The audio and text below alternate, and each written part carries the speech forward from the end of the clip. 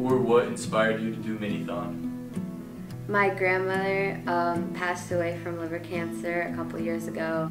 Um, seeing my mom's friend go through something so traumatic only makes me just want to help anyone that is just going through the same experience.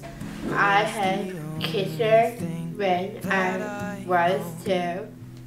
What inspired me to do Minithon is the journey of my mom having cancer.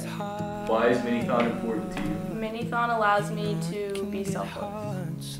I just wanted to join the community because I know that a lot of kids um, suffer from cancer and I just wanted to help out with spirit. What do you most look forward to at Minithon? My happy mom. I mostly look forward to seeing the families that we're able to help and see the smiles that we put on the kids' faces.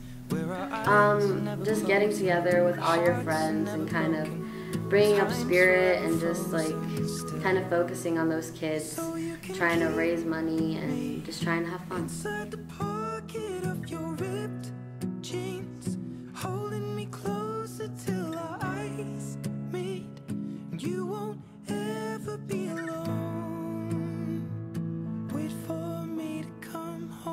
FTK.